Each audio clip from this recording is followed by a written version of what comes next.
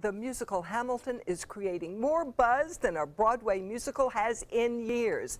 And now one of the original cast members is performing here on the Suncoast. Actor Andrew Chappelle plays five different roles in the Asolo Rep's production of Beatsville. And we are thrilled to have him with us today to talk about life as a Broadway actor. Welcome, Andrew. Oh, thank you. Hamilton. Wow, I never thought I'd touch somebody in Hamilton. Oh, you just did. What's it like to be in a show like that? oh, it's been it's been awesome, awesome, awesome experience. I joined the show when it was downtown at the Public Theater off Broadway, and um, it became very clear to us when the show opened down there um, that this is something that the world needed to see. um, you know, when it was being created. So I'm a swing in the show. Um, and that means I cover uh, five different roles in the show. You know all the lines and all the moves to five different shows. Correct. Yeah, Characters. yeah. And so, you know, um, basically, my job is when someone can't do their job, I do it. Okay. and uh, I was. great. There were only two of us downtown. It was me and Javier. Javier covered uh, the King and Hamilton, and I covered all the other male principals. Oh wow. And so um, downtown was a stressful moment. I just kind of was like always in my pajamas and like with the script in hand and running around, like l- walking, memorizing lines. And um, it, became so clear because I saw, you could see the people lining up outside, and that doesn't really happen for an off Broadway show. Yeah. You know, usually off Broadway shows, like a, you, the audiences are light. Mm-hmm. And people were trying to get in. I mean, the fire marshal came to our final performance Oh. of Hamilton because there were too many people in the lobby to try and win the lottery, and, Wow. they, and they had to keep the doors open, you know, by law, and have people wait outside because there were so many people. And that enthusiasm for the show only grew when we moved uptown, and the theater got bigger, and then the world started to take notice. Um, and I have to say that it it all happened so fast. It it really feels maybe like a few months ago it all happened, but it's been you know two years. Yeah.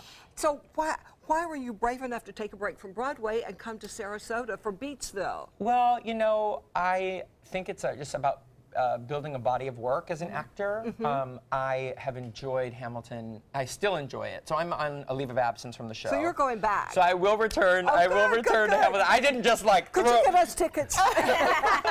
the question of my life. yeah, I bet. um, but uh, I I took a little break because you know got to keep it fresh and Yes. stay inspired. Yes. And I had done a workshop of Beatsville. Oh yeah, there it is. That's that's my Yeah, I'm number. loving so you do five different characters in Beatsville? Um, I at oh okay. So at one time I did, but you know, so it's a new musical, so it's changing. Uh-huh. Um, it doesn't. It's not changing anymore. I used to play five. Now I play three. Two of those characters got got up like absorbed into one character. I was Um, gonna say two of them died because because you know how this movie, this this play is about uh, you know a little bit of a morbid kind of death thing. Sure, a lot of people die. I die. I'm, a, I'm actually the first person to die. Um, but That I'm. must be quite an experience. Well, I'm used to dying. I die a lot in Hamilton. I die. There's one of one of the characters that I cover. He dies in Act One, and then the, he comes back as another character, and he dies in Act Two. So um, I I actually so. Hamilton is on a turntable that spins, and so is Beatsville, and it's very funny because when I die as Lou in Beatsville, I die, and then the turntable takes me around, and it's the exact same speed and direction that I die in Hamilton and, and get you're taken alive around. again. and I said to Max, the guy who kills me, I was like, you know, this is exactly how Lawrence dies in Act Two. It's the exact same way, but. Well, tell us a little bit more about Beatsville because I saw it and I loved it because I feel like it's almost like a um, funny but dark. Oh, it's a dark musical comedy for sure. You know, it's a long. I like to think of it as kind of like a Little Shop of Horrors meets Oh. Sweeney Todd. you know, it's like instead of like this dude making these people into pie, he's making them into statues. Yeah. um, I, it's based on a movie called A Bucket of Blood, which I don't think anyone really has ever seen. It's a very short, one hour, maybe a little less than an hour movie. And, um, you know, it's just about like beatniks in the, you know, village in the late 1950s.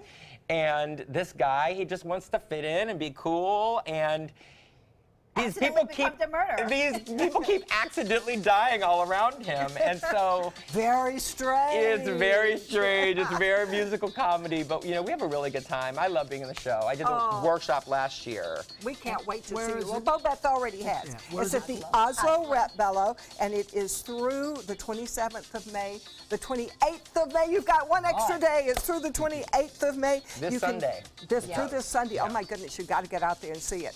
You can go to their website uh, at the Asolo Rep for more information and ticket information. Next, Bello, you've got a surprise for us. I do. I do.